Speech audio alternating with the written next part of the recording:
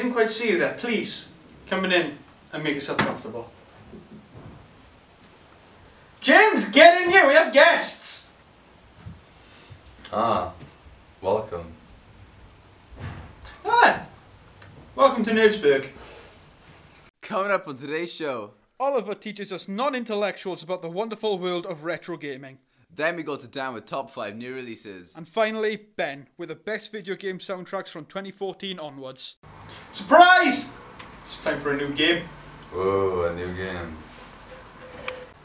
This game was developed by 4A Game. The franchise all started with Metro 2033 and Metro Last Light. Now Metro Exodus has been created. This is the latest installment to the Metro series. It's got all sorts of content to be discovered, like from mutant creatures like the Lurker, terrifying wolves, all the way up to mutant colossal bears. I mean, look at this thing. The forest court comes first.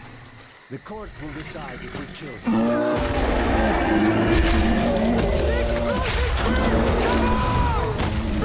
You have an arsenal of weapons you can use to defend against the, the haunted lands of Russia. You can also customize your weapons to suit your needs, thanks to your trusty backpack. And when I mean customize, I mean you can have things like suppressors, ACOG scopes for your sniper rifle, all sorts.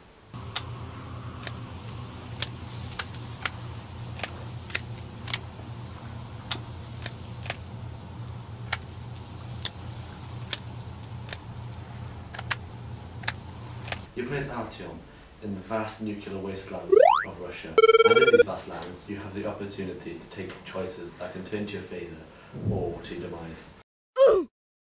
Artyom was born in Moscow just before the nuclear war had started and transformed everything to ruin. Time for some old games. Ah! Nostalgia. Hello and welcome to Retro Gaming. We're here to teach you of the games of the past and why someone such as yourself, you're looking quite beautiful today, might enjoy them. Now, what is classified as a retro game? What we've decided on is any game from the 1970s to the 1990s. For example, Super Mario Bros. or Banjo Kazooie. Anything from that time period. For today's article, we'll be talking about three video games. One for the MS-DOS, one for the Super Nintendo, and one for the PlayStation 1. We hope you stick around for them all.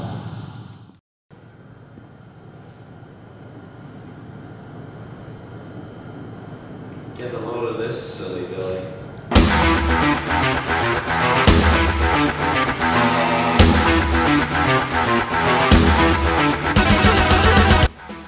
First game we'll be talking about today is Doom, released for a large number of consoles. id Software began development on Doom in November of 1992, releasing the game on the 10th of December 1993, with three episodes, the first, Knee Deep in the Dead, being free to the public as shareware.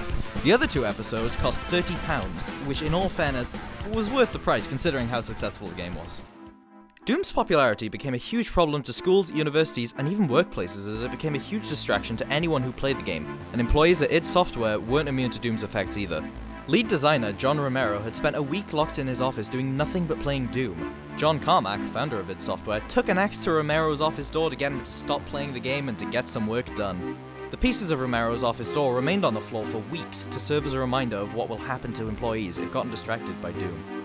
Today, if you asked anyone if they were more familiar with Microsoft Windows or Doom, the majority of people would most definitely reply with Microsoft Windows. In fact, Doom's popularity didn't go unnoticed. Bill Gates was so impressed by this that he considered trying to buy id Software. However, the buyout never took place. Instead, Bill Gates wanted to make a Windows port of Doom, to which id Software happily agreed to. And you'll never guess who worked on the Windows port of Doom. That's right. It was Lord Gaben himself. Praise the Lord. Oh, praise the Lord. Praise. How are you, Dean? Praise the. Next we'll be covering a personal favorite of mine, a JRPG known as Earthbound, also known as Mother 2 in Japan. It was released in 1994 and created by Japanese copywriter, essayist, lyricist, game designer, and actor Shigesato Itoi as the sequel to his first game, Mother for the Nintendo Famicom. The game features a young boy with psychic abilities named Ness who must go on an adventure across the regions of Eagle Land, Foggyland, and Chomo in order to defeat the evil cosmic destroyer known as Giygas. Rather than using swords or bow steel damage, Earthbound uses yo-yos, frying pans, bottle rockets, and the previously mentioned psychic powers known as PSI, among other various things. The game also features a unique element with its rolling HP counter in which when hit with an attack, your HP will slowly roll down instead of being immediately set. This means if you're hit with a move that would ordinarily kill you, if you heal or finish the battle before the counter hits zero, the counter will stop and you will be completely fine. Though Earthbound is considered an obscure game by many, those who play it often find themselves falling in love with the franchise, 13-year absence, the Earthbound community is still strong to this day, with many creators even taking influence from it and creating their own games, such as Lisa and Undertale. Close change. Don't worry about that. It's Gucci.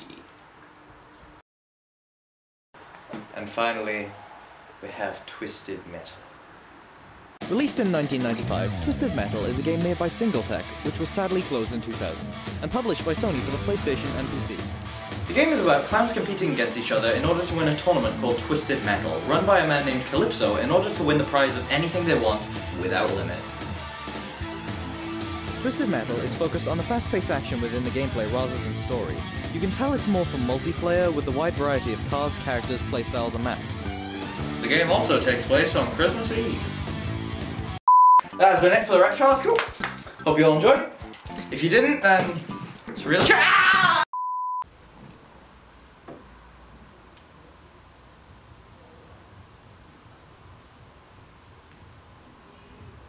We need some music. Red Dead Redemption 2 was the official winner of the Best Soundtracks on the Game Awards 2018. The soundtrack was composed by Woody Jackson, who produces and designed many different musical scores. The game is an action-adventure western game created by Rockstar Games, and in the game, he plays a gang member from the Van der Linde who are forced to flee from a robbery gone bad. You must fight, rob, and steal your way around the Americas in order to survive. Red Dead Redemption 2 is presented both through third-person and first-person perspectives. In the gameplay, the uh, elements include shootouts, heists, horseback riding, hunting, and maintaining the character's honor system throughout the game. This is done through moral choices and deeds There was an online multiplayer released for Red Dead 2 called Red Dead Online. This was released as a beta version in November, so we're still under development. The game broke several records and had the biggest launch in entertainment history. And that concludes this episode of Nerd Speak. We hope you found it insightful. Hope you enjoyed. And that will be a goodbye from us, and we hope to see you next time.